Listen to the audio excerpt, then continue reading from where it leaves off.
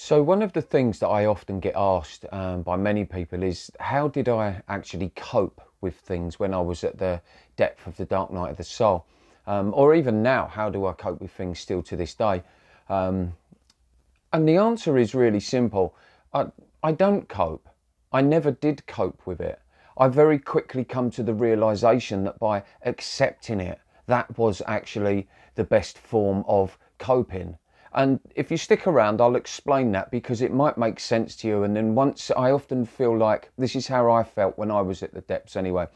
I often felt like once I understood something, I didn't have to so much analyze it and really dissect it. I just needed to understand how something worked. And once I understood the workings of that thing, it kind of moved me forward and shifted me on. So this one's quite tricky because it's talking about different situations, and I'm going to be jumping between the unconscious mind and the conscious mind, or the matrix and our essence, if you like.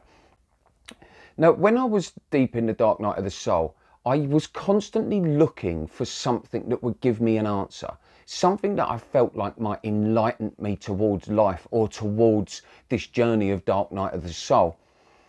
But what I found was that I got very involved and very heavily intoxicated in videos and in books, um, in listening to spiritual gurus, um, and diverting myself by going to the gym, going for runs, sometimes eating junk food, or sometimes, in my case, would fast or over fast on the food.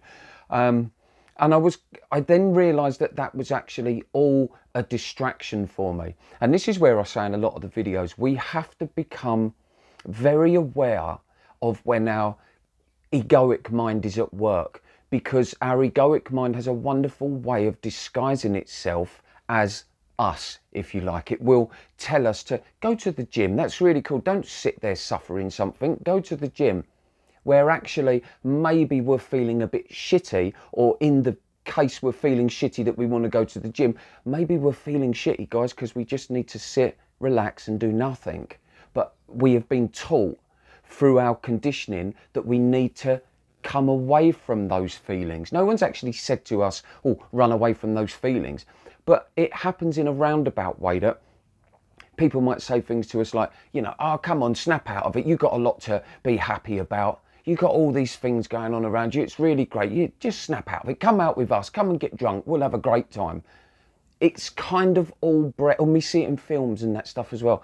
So it's kind of unconsciously bred into us that we need to distract away from being totally alone or totally in silence at times. And I say at times. It doesn't, we don't have to do that all of the time. Sometimes, especially going to the gym and eating well, that's all lovely distractions to have, providing you keep them in proportion with how you are as a human, if you like. I don't like the word human, but we know what I mean. How uh, keep it in proportion. You know, we've got to find this nice balance between our conscious entity and our physical entity. We've only ever been very conscious of our physical selves. So we've always looked at this body like this is us this is how we are. And we kind of, we think we're reacting properly to what the body calls for. We're actually not, but I can cover that either later on or maybe in another video. But we've kind of always reacted to our physical bodies. And we pay very little attention to what goes on in our mental health uh, and or in our essence. And you have to remember as well that when we're in the matrix, we're not aware of an essence. Now, some of us might believe in God and stuff like that. That's not what I'm talking about. I'm talking about believing in our own higher state of consciousness. When we're in the matrix, we kind of feel like that is what is.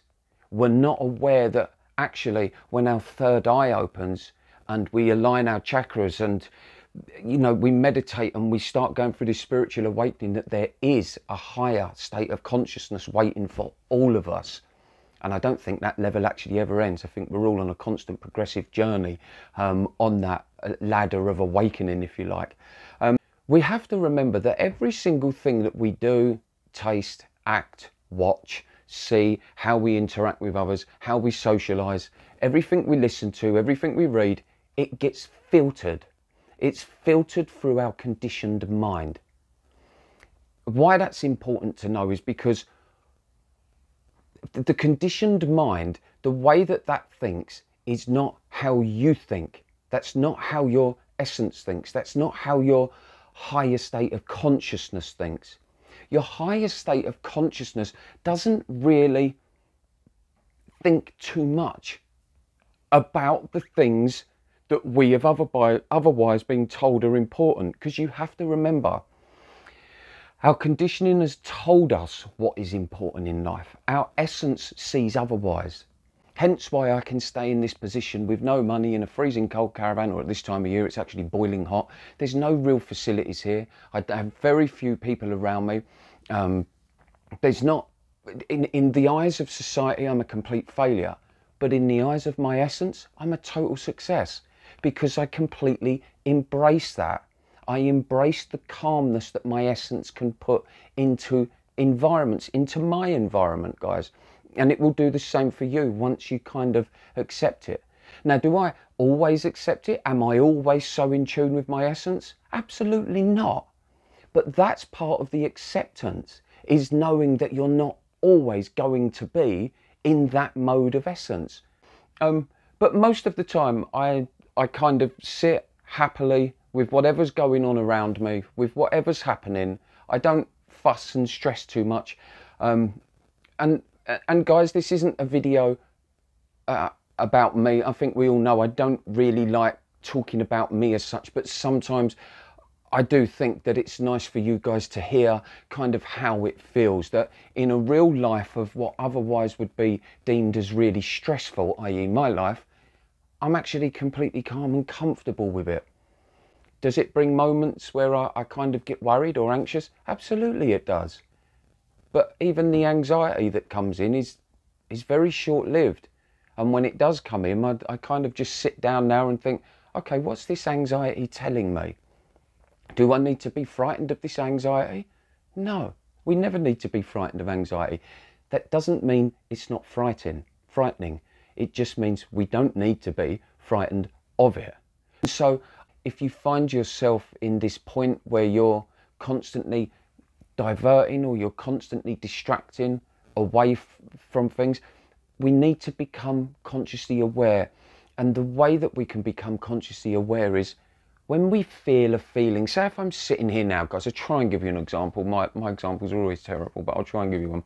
So, if I'm sitting here now and I think, okay, I'm going to sit in silence for a little while, I'll make a cup of tea and then I'll sit in silence with that there's the distraction right there that I'll make a cup of tea and sit in silence. So that's the, the conditioned mind, the egoic mind coming in saying, why don't you just do this first? Why don't you just do that first? How about if we done this and then we can sit in silence? It kind of wants to bargain with your essence, with your consciousness, where sometimes what it takes is to just, if we, if we become consciously aware of those things, of consciously aware of when the egoic mind is doing that, that's when we can take a pause, take a breath, and think,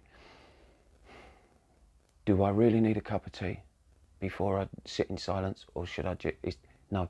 Learn that feeling, that feeling that's deep down, saying, yeah, make the cup of tea. There's nothing wrong with that. That is that right there is what's stopping us in all our areas in life. If we get in touch with that feeling, it's that little feeling of like wanting to do something else first.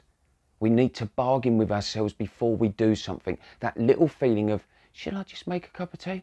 It's not the thought of, shall I make a cup of tea? It's the feeling that created the thought of, shall I make a cup of tea? The cup of tea could look like, shall I have a bath first? Oh, I'll just call my mum first. What, whatever.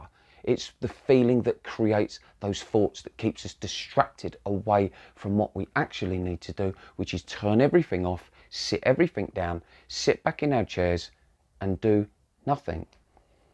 That's the acceptance and all the feelings that come up of, okay, well, we've sat for long enough now, let's move on. No, just keep sitting. We will slowly learn that those feelings that come up in us, they are just feelings that are working and being filtered through the conditioned mind. And they want us to not go into that place that feels scary, i.e., the essence. It feels scary to us because it's unfamiliar. And we kind of feel like if we go into that unfamiliar territory, we won't be able to handle it. But also, we think if I go into that unfamiliar territory, I have to leave everything behind. Unfortunately, there is no there is no way around that part. You will find that people and things, relationships, your, your job, sports that you like, foods that you like, will start moving to one side. And that's when you start realizing that most of our life has been spent distracting away from our essence. We didn't know we was distracting from an essence. We're distracting away from the feelings underneath. But the feelings underneath is the kind of calling of the essence that he's saying, hey, listen, something's not right in your life. I'm here, I'm waiting to help you out, but you never come into me. You never speak to me. You never want to indulge in me. All you ever do is when you feel me arising, you then say, Oh, I'm going to the gym. I'm tidying my house. Oh, get on with this. I'm a strong human being. I move away from this. I don't suffer this. That's kind of what we do.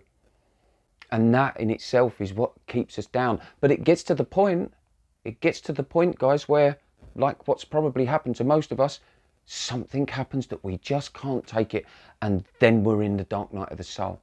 And the only reason you know you're in dark night of the soul is because you researched on it. You didn't just kind of come from the working person that you was, if you like, and then one day felt shitty and went, oh, well, guess it's my turn for Dark Night of the Soul. Nobody does that. You found out about Dark Night of the Soul because you looked for it. You, you looked for why you was feeling shitty. And as you listen to these videos and that stuff on Dark Night of the Soul, there's something there that goes, that's me. Oh shit, I thought I was down. I thought I was depressed. I thought I was, no, I'm going through a transitional period. Now, I'm not saying that in every single case. You've got to be careful that we don't get the two things mixed up. But I have done a video on the difference between depression and Dark Night of the Soul. Um, go back and check check that one out. But that's ultimately why how you know you're in the dark night of the soul because you searched on why you don't feel so great and you read the dark night of the soul and you're in it and then you it starts to become clear that oh yeah those feelings i always had underneath was the calling of the essence or the consciousness the the love God, whatever you whatever you choose to call it. I vary all over the place with mine. It can be consciousness, it can be love, it can be God, it can be spaciousness, awareness. It, it just kind of goes everywhere because there is no set term for it. But I don't think there's anything else I really need to say to you. That kind of went all around the houses and a bit off on a tangent and stuff like. And do you know what, guys?